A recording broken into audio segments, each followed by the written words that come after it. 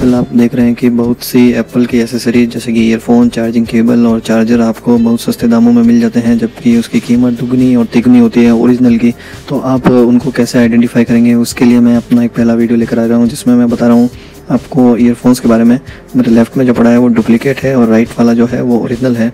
और इसके मैं कुछ पॉइंट्स आपको बताना चाहता हूँ, जिस पॉइंट से आप ये देख सकते हैं कि ये ओरिजिनल है या नहीं। तो ये पॉइंट्स हम वन बाई वन करके डिस्कस करेंगे और मैं साइड बाई साइड कंपेयर करके भी बताता हूँ आपको कि ये आप कैसे एक ओरिजिनल पेयर के साथ में कंपेयर करके भी आप ये जान सकते हैं कि ये फेक है या ओरिजिनल तो फ़र्स्ट ऑफ़ ऑल आपको मटेरियल की क्वालिटी से ही पता लग जाएगा कि अगर आपने पहले कुछ ओरिजिनल यूज़ किया है ईयरफोन तो आप इसकी मटेरियल की क्वालिटी देख कर ही आप पता लगा देंगे कि ये फेक है, क्योंकि इसके अंदर फिनिशिंग नहीं होती है प्रोडक्ट के अंदर।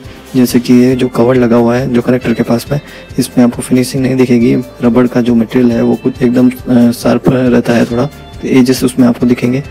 दूसरी चीज़ आपको मैं बताता हूँ, इसके ऊपर की जो मार्किंग रहती है तो सेकंड चीज़ मैं आपको जो बताने वाला हूँ, वो इसके ऊपर की मार्किंग को देख कर पता लगा सकते हैं कि मार्किंग सही हुई है या नहीं।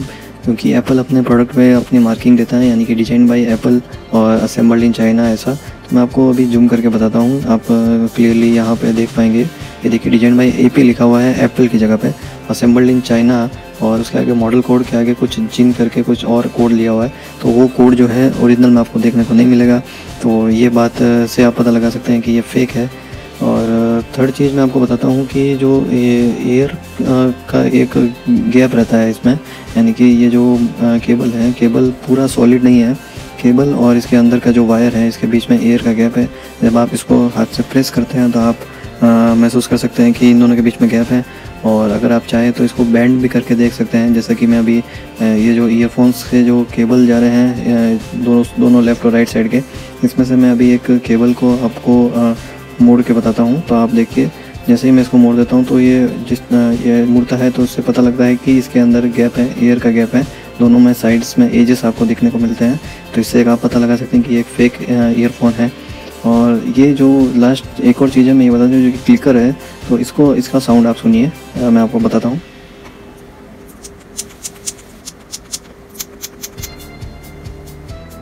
तो फ्रेंड्स आपने देखा साउंड जो था काफ़ी तेज़ आ रहा था, वो ओरिजिनल में इतना साउंड नहीं करता, इतना क्लिक ही नहीं होता बटन चौथा, आप ये एक और चीज़ ये दे सकते हैं कि इसके अंदर की जो मैश है, उसमें आप आर पार दे सकते हैं, जो कि जनरल में ओरिजिनल में काफ़ी डेंस होता है। और ये एक और पॉइंट हो गया आपके पास चेक करने के लिए जो ओरिजिनल में आपको काफ़ी डेंस मैश दिखता है इसमें ईयरफोन के अंदर। और यही मैं एक, इसके अंदर इस साउंड की क्वालिटी से कैसे चेक करते हैं, वो भी मैं आपको बता देता हूँ। तो फ्रेंड्स ये जो ईयरफोन है, जब आप अपने ईयर में लगाते हैं तो ये नीचे का जो ये होल देख रहे हैं, इसको जब आप प्रेस कर देते हैं या ब्लॉक कर देते हैं तो एयर का सर्कुलेशन इसमें रुक जाता है, जिसके कारण आपको बास में थोड़ी कमी महसूस होगी। और जैसे ही आप इसको हटाते हैं, वापस तो आपको बास ज़्यादा सुनाई देता है। तो ये सिर्फ़ एप्पल के ओरिजिनल में ही आपको देखने को मिलेगा। फेक वाले प्रोडक्ट में आपको देखने को नहीं मिलेगा। अब मैं आपको ओरिजिनल वाला जो है, उसको, उसका आपको बताता हूँ कि उसके अंदर क्या क्या खासियत रहती है।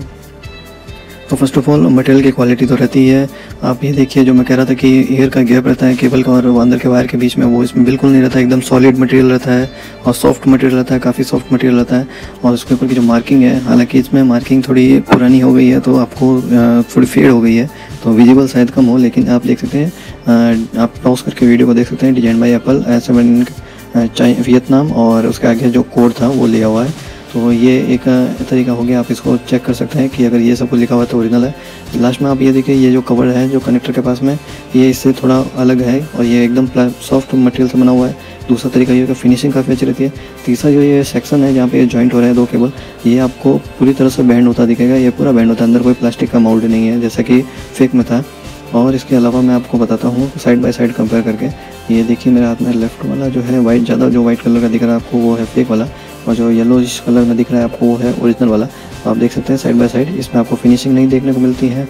ये देखिए, ये आपको एक साइड में एजेस दिख रहा है इस कवर के ऊपर, जो कि ओरिजिनल में आपको नहीं देखने को मिलता तो फिनिशिंग नहीं रहती इन प्रोडक्ट्स की, जो कि फेक रहते हैं। और साइड बाय साइड में आपको मार्किंग बता देता हूँ, आप देख सकते हैं डिजाइंड बाई ए लिखा हुआ आ रहा है, जहाँ पे जो फेक वाला है उसमें एपी लिखा हुआ है, जबकि ओरिजिनल वाले में आप देखेंगे, इसमें लिखा हुआ है डिज़ाइन बाई एप्पल तो एक चीज़ और आप क्लियर हो गई। तो दो पॉइंट मैंने आपको फिर से रिवाइज करवा दिए हैं। ये दो पॉइंट है, उसे आप चेक कर सकते हैं। इसके अलावा आपका मटेरियल की क्वालिटी से पता लग जाएगा और केबल की क्वालिटी से, जो कि एयर गैप नहीं रहता क्वालिटी वाले जो ओरिजिनल वाले जो होते हैं उसके अंदर। और ये आप देख सकते हैं जो ये मैं आपको बता रहा था, ये फेक वाला है, जो एकदम वाइट दिख रहा है आपको, नया वाला। तो इसमें आप देखें इसको मैं बैंड करता हूँ तो बैंड नहीं होता, क्योंकि इसके अंदर एक प्लास्टिक का माउल्ड है, उसके ऊपर रबर को कोट किया गया है। जबकि जो ओरिजिनल वाला है ओरिजिनल वाले को मैं जैसे अगर बैंड करना चाहूँ तो ये बैंड हो जाता है। इसके अंदर कोई प्लास्टिक का मोल्ड नहीं है। ये है आपका जो माइक का जो बटन मैं बताता हूँ। जो माइक का बटन इसमें जो आपको आवाज़ सुनी है इसकी। तो आपने देखा कि माइक की आवाज़ जो बटन की क्लिक की आवाज़ बहुत ही इसमें आपको स्लो सुनाई देती है, ज़्यादा क्लियर नहीं होता। एक और ये जो मैश आपको देखने को मिल रहा है ये मैश भी आपको बहुत ही डेंस दिखता है। कंपेयर उसके फेक प्रोडक्ट के मुकाबले में। तो ये आप देख सकते हैं कि फेक वाले में आपको आर पार दिख रहा है डेंस नहीं है इसकी मैश और उसके अलावा इसके अलावा आप देख सकते हैं साइड में भी आपको मैश जो है ओरिजिनल की डेंस देखने को मिलती है, ना कि फेक वाले की। उसके अलावा जो मैंने आपको बताया था कि अगर इस जो लाइन इसके अलावा जो ये होल को आप कवर कर देते हैं, नीचे वाले जो है तो आपको बास में भी रेड्यूस बास रेड्यूस हो जाता है, जबकि फेक वाले में आपको ऐसा नहीं देखने को मिलेगा। तो फ्रेंड्स मुझे लगता है कि ये काफ़ी पॉइंट्स हो गए हैं आपको चेक करने के लिए और आप इससे आसानी से चेक कर सकते हैं कि आपका ओरिजिनल है या फेक और आशा करता हूँ आपको ये वीडियो पसंद आएगा और चैनल को सब्सक्राइब कर, करके रखिए ताकि आपको ऐसे ही और वीडियोज़ देखने को मिले और बेल आइकन को भी दबा दीजिए। तो thank you guys see you again bye bye